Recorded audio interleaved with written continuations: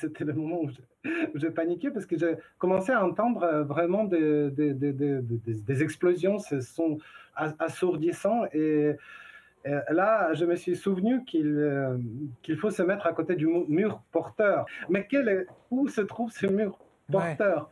Maintenant, j'ai réussi à me calmer et grâce à Internet, euh, trouver le mur porteur. Mais psychologiquement, c'était difficile de, de, de, de, de rester, de se tenir contre ce mur euh, porteur et entendre euh, ces bruits. Maintenant, je commence à comprendre les gens qui n'aiment pas les feux d'artifice. André Maliuk, qu'on avait rejoint, résident de Kiev à ce moment-là, vous comprenez, confusion, il y a des bombardements, euh, va au sous-sol, remonte à l'étage et cherche le mur porteur. Au cours de cet entretien où il nous décrivait euh, sa peur et tout ce qu'il avait vécu, première journée de cette invasion, les tirs, euh, il y avait des points d'humour comme ça, il cherchait le mur porteur. Mais bonne nouvelle pour vous à la maison, pour nous et pour lui, on le retrouve ce matin, André Maliuk, qui est là pour nous parler. André, ça nous fait tellement plaisir de vous revoir et de pouvoir vous parler ce matin. Vous avez, vous vous êtes entendu là, hein? Euh, on n'a pas pu jouer toute l'entrevue, mais vous aviez encore ces, petits moments d'humour, de légèreté quand vous aviez dit cherchez le mur porteur. Depuis deux ans, est-ce que vos, sentiments, est-ce que vous vous êtes un peu habitué à, ce, à cette nouvelle Ukraine? bonjour. Oui, je suis vraiment ému de vous parler aujourd'hui parce que je me remémore de tout ce que j'ai vécu. Vous m'aviez accompagné au début de cette, de cette invasion, au début de cette guerre. Et moi qui, à l'époque voulais avec un de mes amis monter une petite maison d'édition, on avait des projets, on a publié un livre et toute ma vie a complètement changé. J'ai repris ma carte de presse ukrainienne pour, euh, pour être témoin en quelque sorte euh, de tout ce qui se passe dans, ce pays. Et c'était le moment là quand ma vie a changé. Mais ce n'est pas seulement ma vie, c'est la vie de 43 millions d'Ukrainiens qui a bousculé d'un jour, de, jour au lendemain. Et on était vraiment... Euh, on n'était pas du tout habitué à toutes ces, alertes, toutes ces sirènes. Euh, je me souviens des sidérations de ces, de de ces premiers jours, même si depuis, euh, par exemple, maintenant, sur, mon application municipale euh, qu'on utilise à Kiev pour, euh, pour le métro, trolleybus, payer le parking, on nous annonce des alertes et on les compte. Et actuellement, on est à 988 alertes.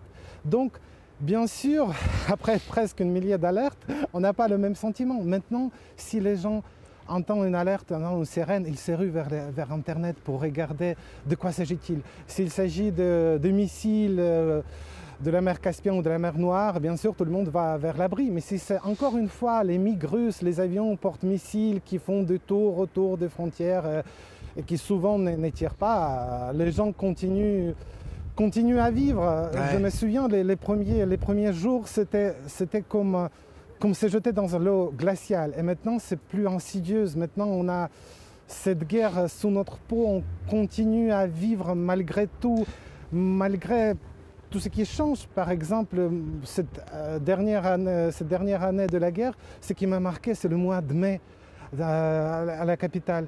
Chaque nuit, euh, il y avait des drones iraniens qui attaquaient. Moi, j'habite à l'ouest de, Kiev et, je voyais, j'étais réveillé à chaque, nuit à 3 heures du mat par des feux d'artifice, par des aurores boréales, par, ces explosions de, de, tous ces drones. Mais heureusement, la Heureusement, la défense antiaérienne a bien travaillé. Durant, euh, durant ce mois, il y avait seulement une seule victime, euh, une femme qui était tuée. Mais autrement, il n'y avait pas l'accroche à l'actu, il n'y avait pas quelque chose à raconter. Sauf que tout le monde ne dormait pas le, euh, ces, nuits. Je, me, remémore encore le visage de mon voisin qui est devenu plus osseux, plus, qui ressemblait comme, comme, les, images des, des, icônes. Et les gens continuaient à vivre malgré tout ça. Heureusement, maintenant, on n'a plus tellement d'attaques des drones, mais... Oui. André, c'est intéressant ce que vous dites là, parce que est-ce qu'on finit... Et j'entendais le témoignage, le livre intime de deux, deux Ukrainiennes, deux sœurs, une à Paris, l'autre à Kiev, et qui s'écrivent, etc. Et, celle de Paris a rendu visite à sa sœur à Kiev. Elle disait, mais là, maintenant, moi, j'entends les sirènes, Et ma sœur ne court même plus vers les abris. Euh, elle, distingue euh, d'où viennent ces bruits, les sirènes, etc. Est-ce que, est que vous courez, vous, vers les abris, ou vous avez abandonné cette pratique quand les sirènes retentissent? Ah, comme tout le monde, je regarde l'Internet. Si c'est le porte-avions, euh, le, porte-missile russe, c'est l'avion qui, fait les tours euh, à côté de la frontière, euh,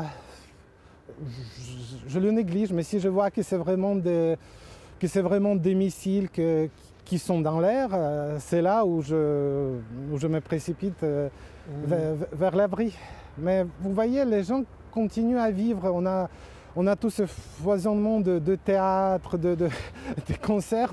Ça peut, paraître incongru, mais je pense que aussi c'est ça la résistance ukrainienne qui euh, il y a quelques jours, on a ouvert une nouvelle librairie sur Kreshchatik, la rue principale, et là, beaucoup de monde euh, là-bas. Les gens essayent, essayent malgré tout de continuer à vivre, sauf mm. qu'on a bien sûr ce, grand, ce grand problème que chaque jour, notre armée essuie des pertes. Donc chaque jour, euh, il y a des, il y a des, il y a des morts et qu'il faut euh, qu'on essaye de, qu'on essaye de faire quelque chose. Par exemple, mon ami avec qui on voulait monter la maison d'édition, avant Nouvel An, il s'est engagé volontaire euh, dans l'armée, même s'il était, comme on appelle chez nous, le billet blanc, il n'a pas fait son service militaire, mais il a suivi les formations pendant une année dans les centres pour apprendre à tirer, pour etc. Car il voulait faire quelque chose. Lui-même, il était originaire des Crimées, il a dit, j'ai déjà perdu une fois ma maison là-bas, je ne peux pas y retourner. J'ai construit quelque chose à Kiev depuis 2014, mais je dois défendre euh, ça. Donc, euh, c'est bizarre ce, cette vie en Ukraine actuellement où on, on essaye de continuer à vivre et à la fois on est vraiment très très inquiet parce qu'on voit que l'aide militaire arrive avec un certain retard. Après chaque décision, il y a des mois pour que ça se mette en place. Et on a cette hantise, cette peur que peut-être, une fois que toute l'aide va arriver, on va perdre le truc le plus précieux qu'on a, euh, notre ressource humaine, tous ces gens qui sont prêts à, à défendre ce pays. Y a-t-il une colère qui gronde ou une hargne à l'égard des pays occidentaux, comme le Canada? Prenons juste l'exemple du Canada. Cette semaine, on montrait l'écart entre les promesses faites au Canada en, juin par M. Trudeau, qui disait on va tout faire, nous n'abandonnerons jamais. Et là, on comprend entre la parole et la promesse et les faits, il n'y a pas encore ou très peu d'armement qui a été livré par le Canada à l'Ukraine. Y a-t-il un, genre euh, de, désespoir où est-ce qu'on se dit mais, mais où, sont, où est tout le monde qui nous aidait dans les premiers jours de février il y a deux ans, euh, qui, est, était là. Euh, est-ce que vous sentez qu'on vous laisse un peu tomber?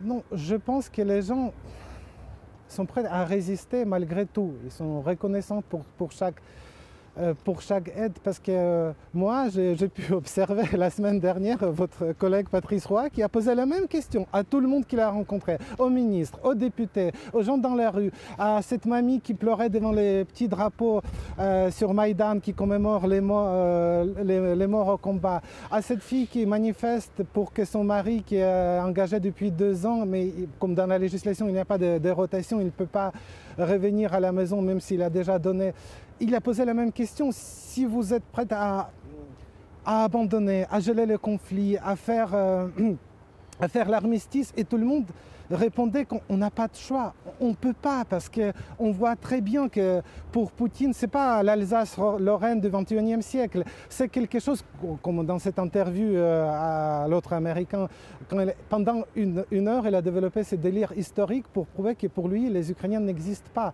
Donc on peut on ne peut pas reculer, on, ne peut que résister. Et chaque aide nous est précieux. Et il n'y a pas de sentiment. C'est une détermination, peut-être parfois un petit peu triste, mais qui, est là et, qu'on comprend qu'on n'a pas de choix et donc il faut résister malgré tout. André, je vais vous dire au nom de tout le monde ici, on est très content de pouvoir vous parler. Je suis un peu. Euh, moi-même euh, ému de vous revoir comme ça parce qu'on a eu peine à vous retrouver pendant un certain temps. Puis je vais vous dire, on a évoqué le pire entre nous. On s'est dit, mais où est André? Qu'est-ce qui lui est arrivé? On ne peut pas le rejoindre. Et quand on sait qu'il y a une guerre, on, on, sait le métier que vous avez fait entre-temps, là, accompagner des journalistes, accompagner l'armée ukrainienne également. Alors, on était très inquiets. Mais là, maintenant, je suis rassuré. Je vous vois là, en pleine forme, toujours aussi clair. Alors, euh, André, euh, merci beaucoup. Puis au nom de tout le monde, je crois qu'on va vous dire bon courage à vous et à tous vos compatriotes. Merci. Merci à vous. Merci. Pour voir nos émissions en entier, rendez-vous sur la chaîne Ici RDI.